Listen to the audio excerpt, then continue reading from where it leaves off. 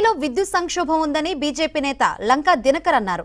డిమాండ్కు తగ్గ విద్యుత్ సప్లై లేదన్నారు. జగన్ ప్రభుత్వం అసమర్థ విధానాలతోనే విద్యుత్ సంక్షోభం ఏర్పడిందని ఆరోపించారు. ప్రజలపై భారాలు మోపడంలోనే వైసీపీ ప్రభుత్వానికి శ్రద్ధ ఉందని విమర్శించారు. విద్యుత్ కొనుగోలు విషయంలో భారీగా అవినీతి జరిగిందని లంకా దినకర్ ఆరోపించారు.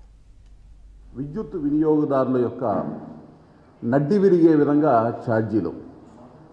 మోయలేని భారంగా ఈరోజు విద్యుత్ ఛార్జీలు రాష్ట్రంలో మారినాయి.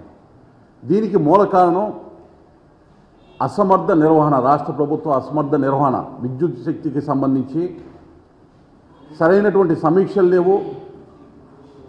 ప్రభుత్వం వ్యవహరిస్తున్నటువంటి తీరు చాలా బాధాకరంగా ఉన్నటువంటి పరిస్థితి.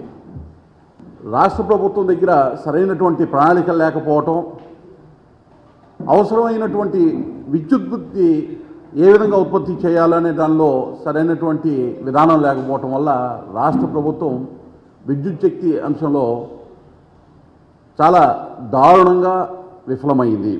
ఇక సౌర విద్యుత్ శక్తి గురించి చెప్తే మనందరికీ తెలుసు ఒక్కొక్క యూనిట్ని నాలుగు రూపాయలు చొప్పున దాదాపు పదివేల మెగావాట్లకి సంబంధించినటువంటి పీపీఎల్ను ఈ రాష్ట్ర ప్రభుత్వం జగన్మోహన్ రెడ్డి గారు ప్రభుత్వంలోకి రాగానే పీపీఎల్ని రద్దు చేయడం జరిగింది.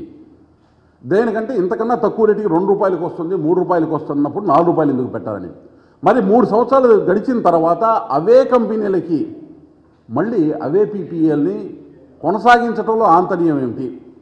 ఒకటి దీని వెనకాల ఉన్నటువంటి అవినీతి ఏదైతే ఉందో కరప్షన్ ఏదైతే ఉందో డబ్బులు మూటలు ఏవైతే మారినాయో దాని యొక్క పాపము ఇవాళ శాపంగా ప్రజలకి కనబడతా ఉంది. ఆ పీపీఐని ఆ రోజు డిస్టర్బ్ చేయకుండా ఉన్నట్టయితే ఈ రోజు విద్యుత్ శక్తికి సంబంధించిన సౌర విద్యుత్ శక్తి మనకు అందుబాటులోకి వచ్చేది ఇబ్బందులు లేకుండా ఉండేవి.